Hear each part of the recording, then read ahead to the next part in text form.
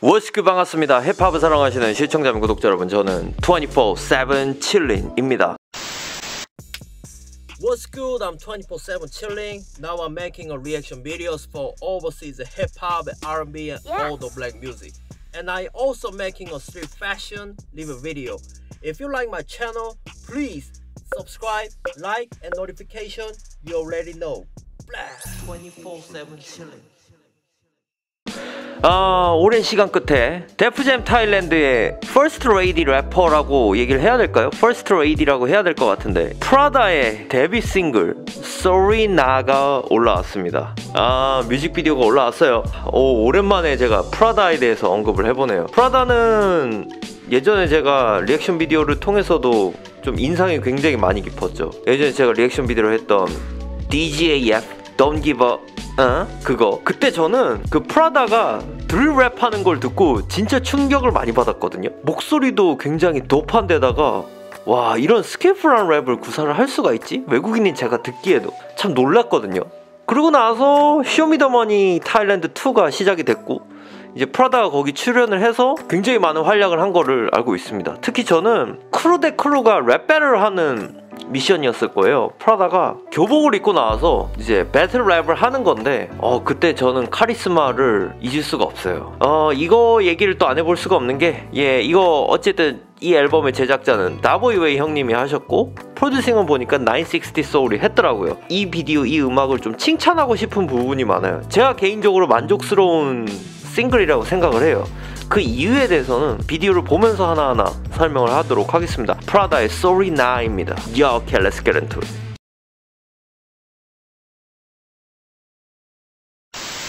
Yup, are you enjoying watching my video? Have you still not subscribed to my channel? 진지게 나왔어야 했어. 너무 늦은 감이 있어요. 어떻게 보면. 음.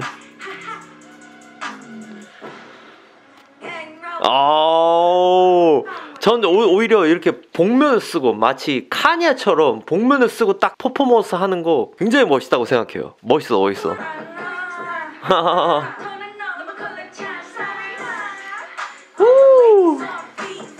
그냥 힙합을 갖고 왔네.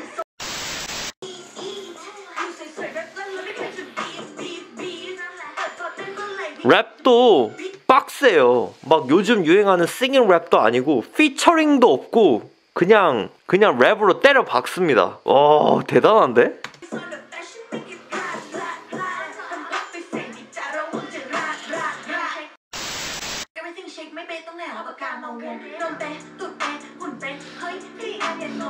제가 프라다 이 뮤직비디오 보면서 영상 보기 전에 몇 번을 돌려봤거든요. 근데 그러면서 느낀 게 하나가 있어.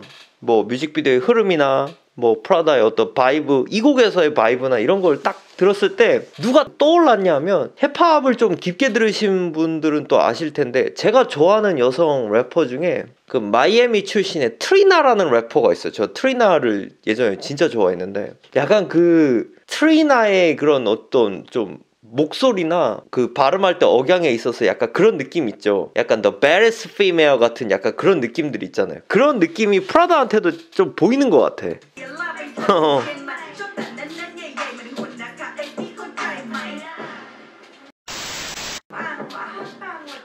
돈으로 반신욕 중이죠.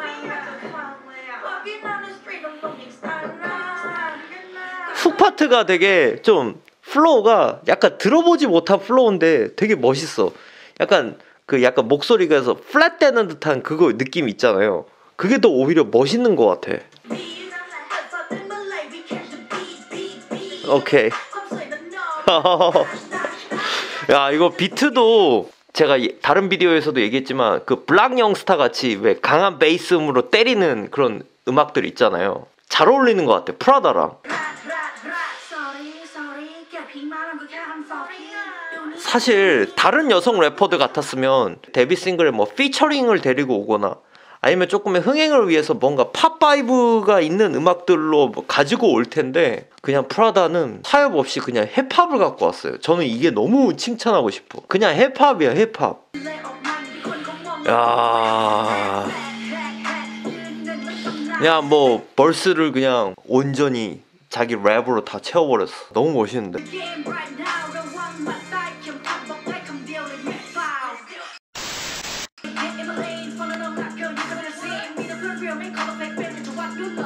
그런 래퍼들이 필요하죠. 태국 힙합에도 딱 생각했을 때 뭐 랩 skill적인 면에서도 아 이 사람이면은 뭐 의심할 여지 없지. 우리가 귀를 그냥 고막을 때려박는 랩이라고 우리는 얘기를 하는데 그냥 그런 랩을 하는 래퍼들이 필요해요. 아 잘한다. 프라다는 잘해요 진짜. 여기 있잖아. flat 되는 파트. 난 이거 너무 좋은 거야. 이 이, 이. 어 특히 여기 마지막에 파티하는 장면들 있잖아요. 어, 가든 파티하는 장면. 야 여기는 그냥 미국 힙합 뮤비 같아.